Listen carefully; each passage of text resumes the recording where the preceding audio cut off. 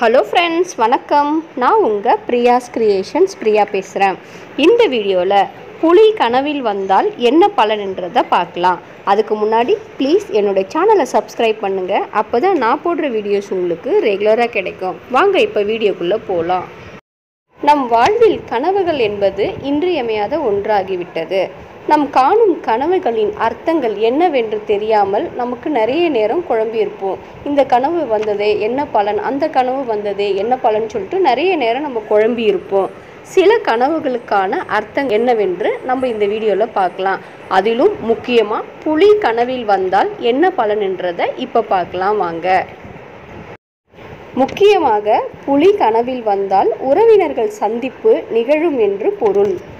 புலிகளை வேட்டையாடி வெற்றி கொள்வது போல கனவு கண்டால் நமது எதிர்ப்புகளை முறியடித்து வெற்றி கொள்ளப் போகிறோம் என்று பொருள். புலி விரட்டுவது போல கனவு கண்டால் நண்பர்களிடம் உரையாடும் பொழுது கவனம் தேவை. மற்றும் உறவினர்கள் மூலம் ஏதாவது ஒரு பிரச்சனை வந்து சேரும்.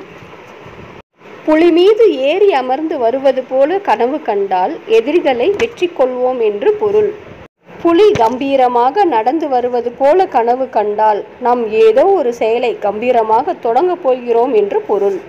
புலி மற்ற விலங்குகளை அதாவது அது உண்ணும் உணவுகளை வேட்டையாடுவது போல கனவு கண்டால் எதிலும் கொஞ்சம் எச்சரிக்கையாக இருப்பது மிகவும் நல்லது.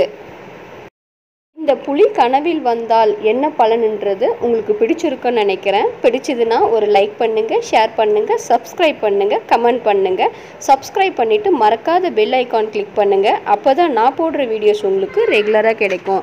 இவ்வளோ நேரம் என் வீடியோவை பொறுமையாக பார்த்ததுக்கு ரொம்ப நன்றி. தேங்க்யூ தேங்க்ஸ் ஃபார் வாட்சிங்